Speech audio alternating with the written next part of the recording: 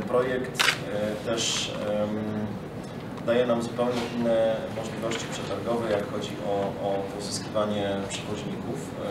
E, też ten projekt e, wyraźnie pokazuje, że to lotnisko będzie się rozwijało.